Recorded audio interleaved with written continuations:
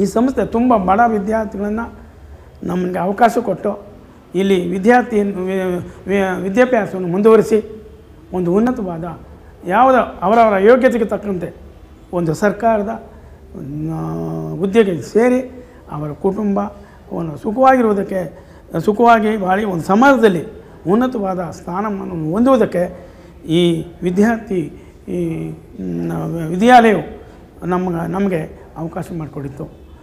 ಒಂದು ಹೇಳಬೇಕಾದ್ರೆ ನಮ್ಮ ಬಡತನದಿಂದ ಏನು ಬಡ ಅಂತಕ್ಕಂಥ ವಿದ್ಯಾರ್ಥಿಗಳು ಅಂದಿನ ಕಾಲದಲ್ಲಿ ಲಾಡ್ಜಿಂಗ್ ಫ್ರೀ ಸಿಕ್ಕಿ ಬೋರ್ಡಿಂಗ್ ಫೀಸ್ ಕಟ್ಟೋದಕ್ಕೆ ಆವಾಗಿನ ಕಾಲದಲ್ಲಿ ಐವತ್ತೈದರಿಂದ ಅರವತ್ತೈದು, ಅರವತ್ತೈದರಿಂದ ಎಪ್ಪತ್ತು ರೂಪಾಯಿ.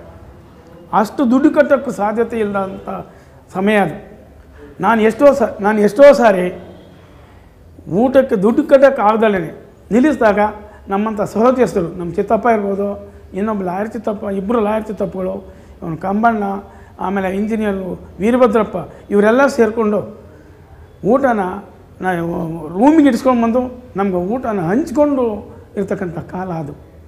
ಅಂಥ ಕಾಲದಲ್ಲಿ ಈ ವಿದ್ಯಾರ್ಥಿ ನಿಲಯದಲ್ಲಿ ನಮ್ಮನ್ನು ಶ್ರೀಯುತ ರಂಗಪ್ಪನವರು ನಮ್ಮನ್ನು ಸಾಕಿ ಇನ್ನು ಮುಂದುವರಿಯೋದಕ್ಕೆ, ಬೆಳೆಯೋದಕ್ಕೆ ನಮ್ಮ ನಮ್ಮಂತಹ ಎಷ್ಟೋ ಬಡ ವಿದ್ಯಾರ್ಥಿಗಳು ಮುಂದುವರೆದು ಒಂದು ಒಳ್ಳೆಯ ಸ್ಥಾನಮಾನ ಮುಟ್ಟಿ ಸಮಾಜದಲ್ಲಿ ಒಂದು ಒಳ್ಳೆಯ ಕೀರ್ತಿ ಗಳಿಸ್ಕೊಳ್ಳೋದಕ್ಕೆ ವಿದ್ಯಾರ್ಥಿ ನಿಲಯ ನಮಗೆ ತುಂಬ ಆಭಾರಿಯಾಗಿದೆ